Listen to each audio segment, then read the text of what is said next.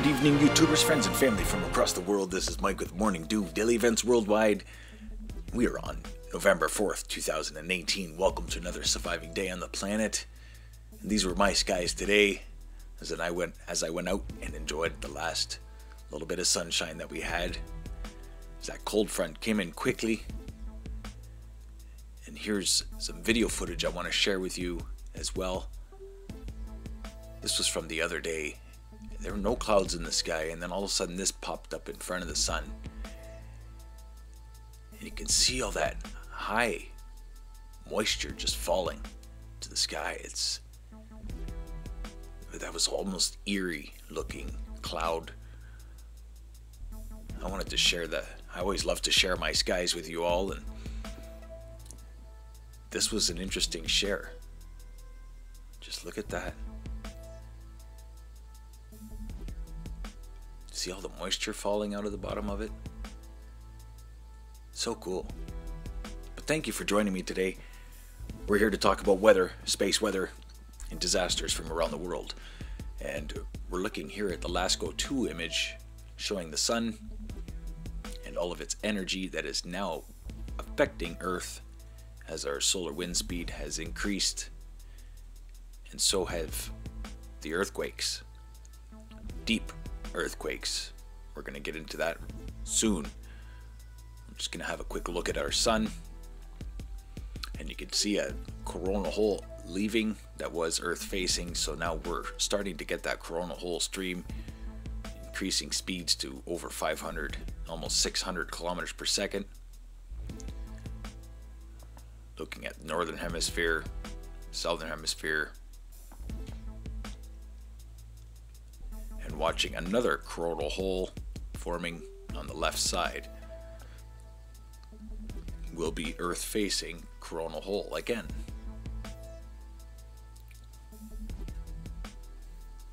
So yeah, expect things to increase again. Just looking here at the last six hours for the solar wind speed. Just reaching 500 kilometers per second most likely will keep increasing over the next 12 hours. And we've had a lot of deep earthquakes in result to that. And this goes to prove right here how much space weather can affect our planet. This is a magnetospheric movie showing the wind speed. So you can see at the beginning of the frames those pulses and then things really started to increase and move around. See those pulses? Those were most likely the large earthquakes that went off in Russia and Indonesia. A 6.0 and also a 5.9. That was today. We're going to get in, we're going to get into that by the end of the video, so make sure you stay tuned through the whole video so you can get the full update on earthquakes as well just looking at the density graph here.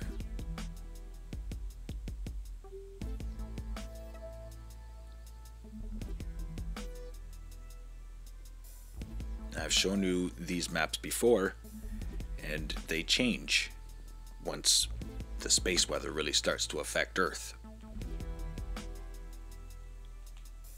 Looking at 7 day visible over North America, watching three large atmospheric rivers across the northern hemisphere, bringing another nor'easter to southeastern United States, Colorado low developing and heading east, as well as an Alberta low. Watch for those to join forces for a nasty nor'easter, and also watching a lot of moisture coming in off of the BC coast, and now producing a snowstorm in Saskatchewan heading east as well. And we're going to get into the snowstorm and the cold temperatures and right now I'm showing you over Alberta and north most of Canada. Temperatures reaching down to minus 13, 14 next week as a large high pressure polar vortex is formed and squeezing down, bringing a lot of cold air to the nor'easter that's going to head east. But watch what this storm does in the Atlantic Ocean, the Bering Strait, over parts of Europe. So watch for a very large windy and rainy event in the coming week, yet again, to parts of Portugal, Ireland, London, pretty much all of Europe, as that large low pressure system will be whipping the coastlines. And some really catastrophic events coming out of Italy. Uh, whole forests being flattened down by the large storm that went through there, the Medicane Adrian, post tropical. And then overlooking Russia, things really starting to cool off. And it's swinging around the planet, folks. But it's getting cold all the way down to the Mongolian mountains, bringing snow to Pakistan. Things are changing drastically. Thank you for joining me. I'm glad that you are, because you are now staying aware and prepared, as well as I and my friends and family from across the world. And I want to thank you all for joining and subscribing to Morning Dew. Make sure you hit that notification bell again and make sure that you're receiving all notifications. Kind of feels like I'm being shadow banned. The views are down. They're censoring me.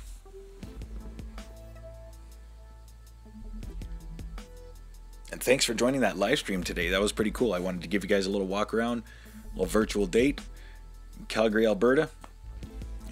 Thanks to everyone who, who joined me for that.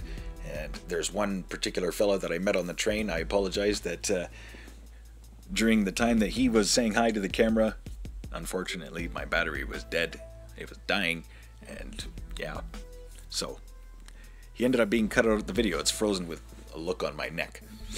But anywho, watching cyclone development in the Indian Ocean,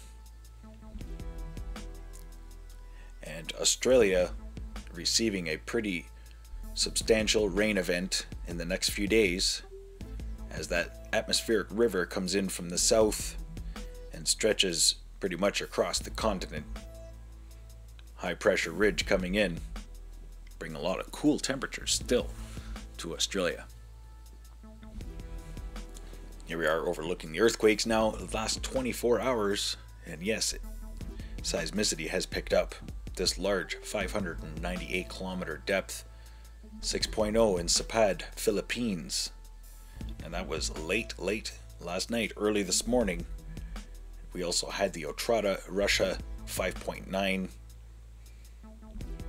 Kodiak, Alaska 4.4.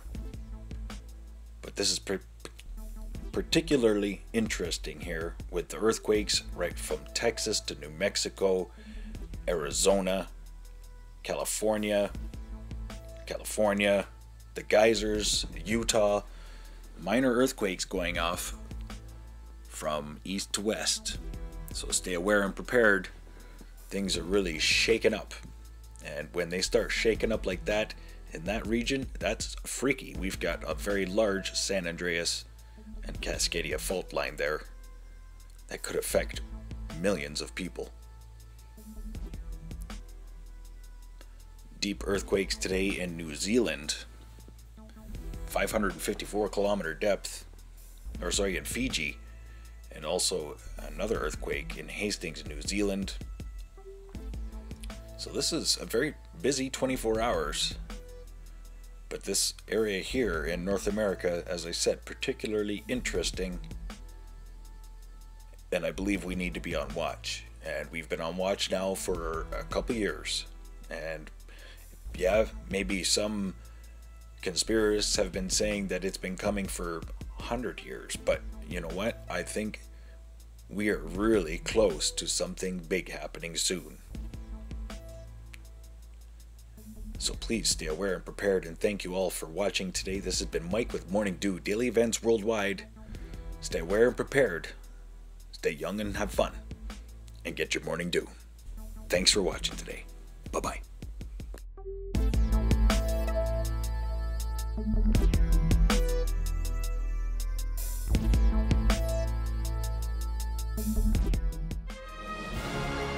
If you enjoyed today's video, please hit that like button, subscribe, share with your friends and family from across the world.